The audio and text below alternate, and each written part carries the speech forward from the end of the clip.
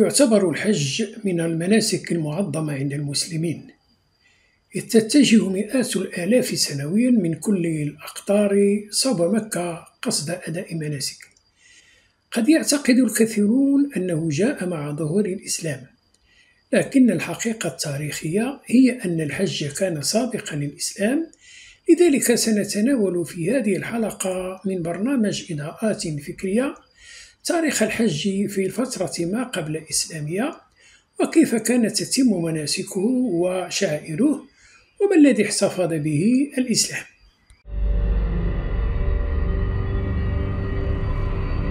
وردت لفظة الحج عند عدد من الشعوب كالهنود والفرس والسابقة كما عرفه اليهود والمسيحيون. ولا زالت بعض الأديان والشعوب تمارسه إلى هذا الزمن. ولم يشد عرب ما قبل الإسلام عن هذه القاعدة إذ عرفوا الحج وبحسب ما نستشفه من الكتابات والنقوش فإن الأرباب كانت لها بيوت تستقر فيها عرفت ببيوت الآلهة. كان المتعبدون يشدون الرحال إليها للتبرك وللتقرب إليها. وبحسب ما يذهب إليه بعض معظم الباحثين فلم يكن حج عرب ما قبل الإسلام إلى مكة وحدها. بل كان إلى محجات عديدة أخرى.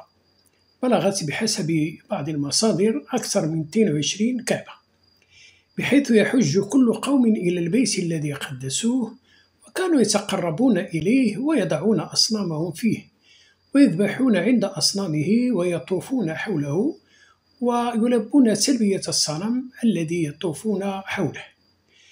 من أشهر البيوت المقدسة الأخرى التي عرفت بالحج عدا مكة كان هناك بيت اللات في الطائف وبيت العزى على مقربة من عرفات وبيت منات وبيت ذي الخلصة وبيت نجران. أما المواضع المقدسة عند العرب فأشهر فأشهرها غير البيت الحرام والتي كانت ضمن شعائر الحج نجد عرفة ومنى والمزدلفة والصفا والمروة.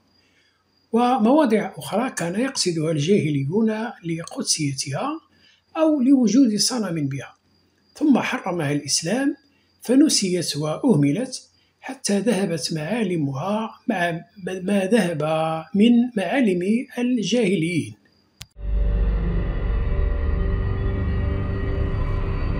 يتضح في المصادر الإسلامية بخصوص الحج أن مناسكه لم تكن واحدة بالنسبة للحجاج بل كانت تختلف باختلاف القبائل إذ انفردت قريش بأمور من أمور الحج واعتبرتها من مناسك حجها فيما تميزت قبائل أخرى بمناسك لم تعتبرها قريش موجبة لها ولم تعمل بها.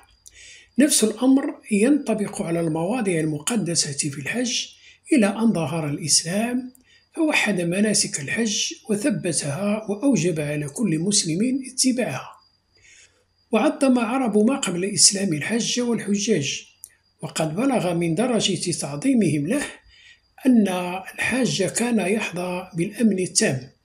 إذ تورد المصادر أنهم كانوا إذا خرج أحدهم من بيته يريد الحج تقلد قلادة من لحاء شجر الحرم دلالة على ذهابه إلى الحج. فيأمن حتى يأتي أهله فإذا أراد العودة عاد مقلدا بلحاء الشجر فلا يعرض له أحد بسوء وهو ما سيبقى إلى أن فتح المسلمون مكة حيث نزل الأمر بمنع دخول المشركين مكة وبوجوب قتلهم حيثما وجدوا. خصوصا في الآية الثامنة والعشرين من سورة التوبة التي ورد فيها يا أيها الذين آمنوا إنما المشركون نجس فلا يقربوا المسجد الحرام بعد عامهم هذا. وإن خفتم عيلة فسوف يغنيكم الله من فضله. إن شاء الله إن الله عليم حكيم. عرف الشهر الذي يقع فيه الحج بشهر ذي الحجة وبشهر الحج وهي التسمية التي لا زالت حتى الآن في التقويم الهجري. وكانت أشهر الحج عندهم حرما وهي شهر ذو الحجة والشهر الذي قبله والذي بعده. كما كانوا يحرمون شهر رجب أيضا ويسمونه شهر الله الأصم أي الذي لا تسمع فيه قعقعة السلاح. فكانوا في هذه الشهور الأربعة يلقون السلاح ولا يغزو بعضهم بعضا.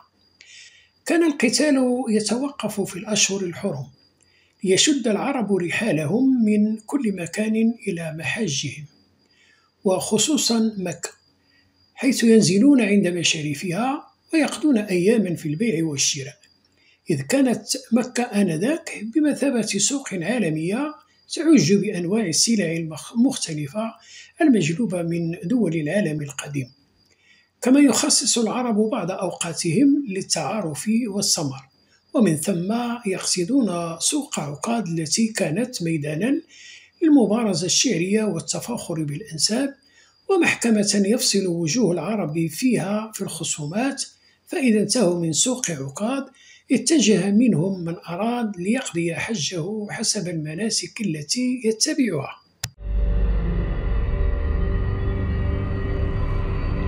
أورد الباحث العراقي جواد علي في موسوعته الكبيرة المفصل في تاريخ العرب قبل الإسلام أشكال التلبية التي كانت تقوم بها القبائل العربية والتي استقاها من المصادر الإسلامية كان حج عرب الفترة ما قبل الإسلامية يبدأ بالإهلال حيث كانوا يهلون عند أصنامهم ويلبون إليها بأدعية وبمخاطبة إلى الآلهة وبتوسلات لتقبل حج ذلك الشخص الذي قصده تقربا إليها. غير أن هنالك من كان يحج من عرب ما قبل الإسلام حجا مصمتا أي دون كلام فلا يتكلم الحاج طيلة أيام حجه. كانت تلبية قريش لإساف وكانت على النحو التالي لبيك اللهم لبيك لبيك لا شريك لك إلا شريك هو لك تملكه وما ملك أما من كان يلبي للعزة من القبائل العربية فكانت تلبيتهم لبيك اللهم لبيك لبيك وسعديك ما أحبنا إليك. وكانت التلبية للات لبيك اللهم لبيك لبيك كفى ببيتنا بينا ليس بمهجور ولا بلية لكنه من تربة زكية أربابه من صالح البرية. وكانت تلبية ذا الخلصة لبيك اللهم لبيك لبيك بما هو أحب إليك. وكانت التلبية لمنطبق لبيك اللهم لبيك لبيك.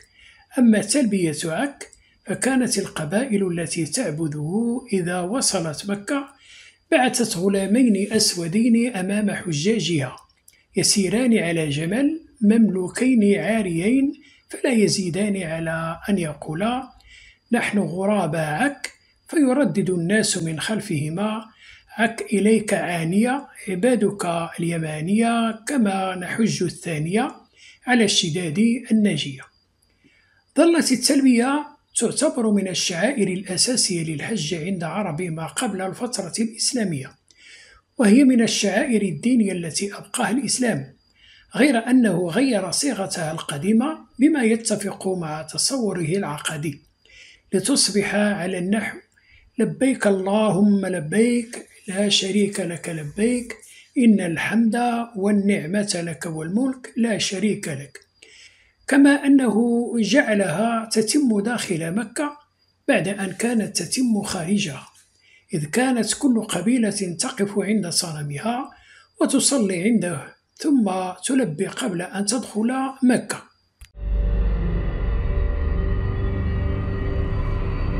بعد التلبية يأتي الطواف بالبيت الحرام والأصنام الذي كان ركنا من أركان الحج ومنسكا من مناسكه كما كان له شأن بارز عند عرب الفترة ما قبل الإسلامية إذ أنهم كانوا يمارسونه كلما دخلوا حرما أو معبدا فيه صنم أو كعبة أو ضريحا كما كانوا يطوفون حول الذبائح المقدمة للآلهة والأضرحة.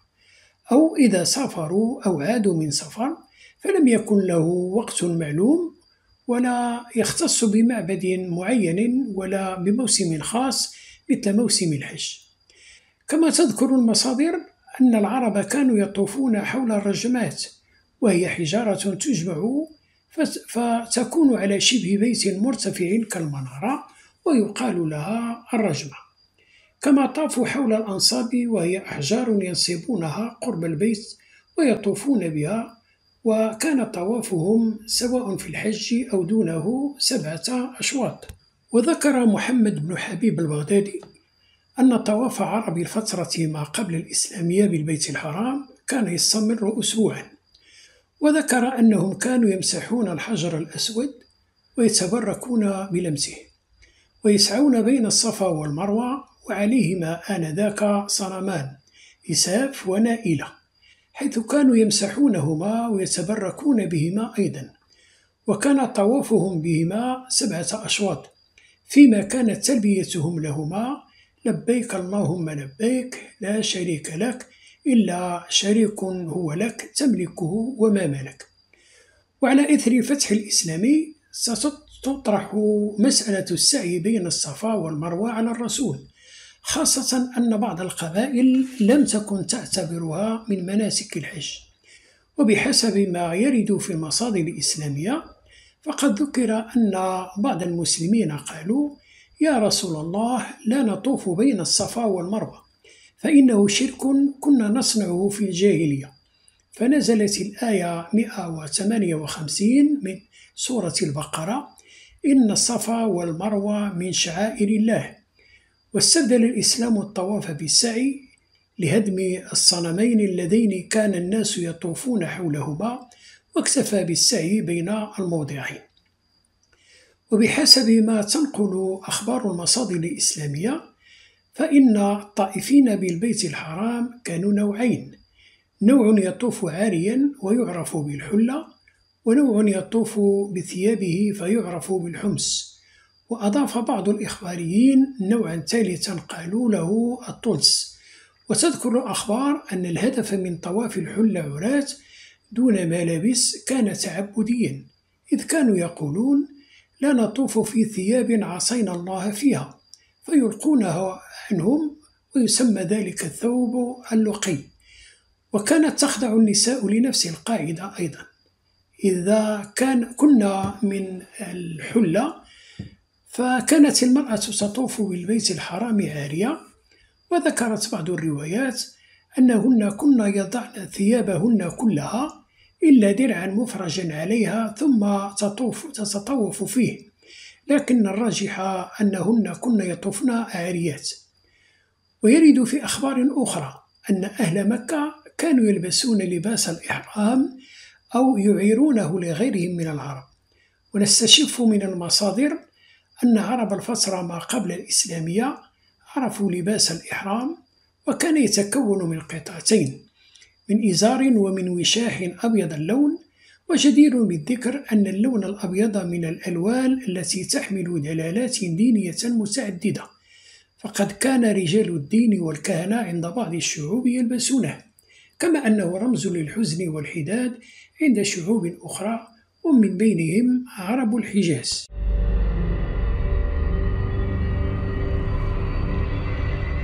من مناسك حج عرب الفترة ما قبل الإسلامية كان الوقوف بعرفة في التاسع من ذي الحجة ويسمى يوم عرفة حيث يقف الحجاج فيه من الظهر إلى وقت الغروب. فإذا غربت الشمس اتجه الحجاج إلى المزدلفة ومن المزدلفة إلى منى. وقد كان العرب من غير قريش يفيدون في عرفة عند غروب الشمس وفي المزدلفة عند شروقها. وذهبت آراء بعض الباحثين إلى اعتبار أن وقوف العرب الفترة ما قبل الإسلامية بعرفة وقت الغروب مرتبط بعبادة الشمس التي عرفتها بعض القبائل العربية. فيما يذهب آخرون إلى أن عرفة قد يكون اتخذ قدسيته لارتباطه بصنم من الأصنام وإلا لما صار جزءا من أجزاء مناسك الحج وشعائره عندهم. بعد أن يصل الحجاج إلى منى يقومون برمي الجمرات وهو من شعائر الحج المعروفة في المحجات الأخرى من جزيرة العرب. كما عرف عند غير العرب أيضا وحسب ما نستقيه من المصادر الإسلامية فإن مواضع رمي الجمرات عديدة عند عرب تلك الفترة يطاف حولها ويحج إليها منها مواضع أصنام وأماكن مقدسة ومن بين المواضع التي عرفت برمي الجمرات نجد جمرة العقبة والجمار وموضع الجمار بمنن حيث تتجمع وتتكوم عنده الحصى وهي جمرات ثلاث الجمرة الأولى والجمرة الوسطى والجمرة العقبة. وتتحدث المصادر على أن أول من أرسى مبدأ رمي الجمرات كان هو عمرو بن لحي الذي بحسب ما تقوله الروايات جاء بسبعة أصنام فنصبها بمنان عند موضع الحجرات وعلى شفير الوادي ومواضع أخرى وقسم عليها حصى الجمار إحدى وعشرين حصاة يرمى كل منها بثلاث جمرات ويقال للوثن حين يرمى أنت أكبر من فلان للصنم الذي يرمى قبله. ولم يكن يحل لعرب الفترة ما قبل الإسلامية حلق شعورهم أو تقصيرها طيلة حجهم وإلا بطل. ونفس الأمر ينطبق على عدد من الشعوب الأخرى خلال المناسبات الدينية المماثلة. أما بعض القبائل فلم تكن تحلق شعورها في مواسم حجها إلا عند أصنامها فكان الأوس إذا حجوا وقفوا مع الناس المواقف كلها ولا يحلقون رؤوسهم. فإذا نفروا أتوا صنمهم منات حلقوا رؤوسهم عنده وأقاموا لا يرون لحجتهم تماما إلا بذلك.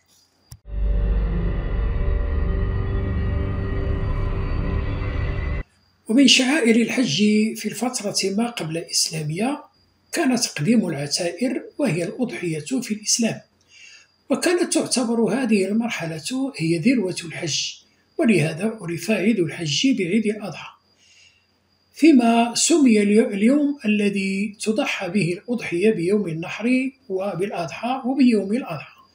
وبحسب ما نستقيه من الروايات فقد كانوا ينحرونها على الأنصاب وعلى مقربة من الأصنام فتوزع على الحاضرين ليأكلوها جماعة أو تعطى للأفراد وقد تترك لكواسر الجو وضواري البر فلا يصد عنها إنسان ولا سبع وكان بعض عرب الفترة ما قبل الإسلامية يسلخون جلود الهدي ليأخذوها معهم. وهو ما جعل بعض بعض الباحثين في مقدمتهم جواد علي يذهبون إلى أنه يتفق مع لفظة التشريق. التي تعني تقديم تقديد اللحم ومنه سميت أيام التشريق وهي ثلاثة أيام بعد يوم النحر لأن لحوم الأضاحي تشرق فيها. وقيل سمي التشريق تشريقا لأن الهدي لا ينحر حتى تشرق الشمس. كانت بقية القبائل تطوف في أعيادها حول أصنامها وتهدي إليها ثم تنحر عندها. عند إكمالها لهذه الشعائر دلالة على إكمالها شعائر الحج إلى هذه المواضع وانتهائها منها على أحسن وجه. فكان من يقصد العزة يذبح عند شجرة هناك ثم يدعو وكان من يقصد منات يهدي يهدي لها كما كان غيرهم يهدي للكعبة ويطوفون بها ثم ينحرون عندها. وكان عبد دي عبدة ذي الخلصة في أسفل في أسفل مكة يذبحون عنده. وكان عرب الفترة ما قبل الإسلامية أيضا إذا فرغوا من مناسك الحج وذبحوا نسائكهم يجتمعون فيتفاخرون بمآثر آبائهم وبأحسابهم وأنسابهم. فنزل الوحي خلال الفترة الإسلامية. فإذا قضيتم مناسككم فاذكروا الله كذكركم آباءكم أو أشد ذكرا ختاما يثير انتباهنا ذلك التشابه الكبير بين مناسك الحج في الفترة ما قبل الإسلامية والفترة الإسلامية وهو تشابه يستحق أكثر من دراسة أنثروبولوجية للوقوف على التمثلات الكامنة خلفها كما يستحق التوقف عند عملية التهذيب والتشديد التي قام بها الإسلام لمناسك الحج سواء من حيث استحضار البعد التوحيدي أو من حيث توحيده لمناسك القرشيين كما سيحدث في فترة لاحقة بتوحيد القراءات القرآنية على لغة أهل قريش. متتبعي قناة الشامل الأفاضل إلى هنا نكون قد أتينا إلى نهاية هذه الحلقة من برنامج إضاءات. على أمل اللقاء بكم مجددا في إضاءة فكرية جديدة. شكرا على المتابعة وحسن الإصغاء. لا تنسوا الإعجاب بالفيديو والاشتراك في القناة وتفعيل الجرس ليصلكم كل جديد. إلى اللقاء.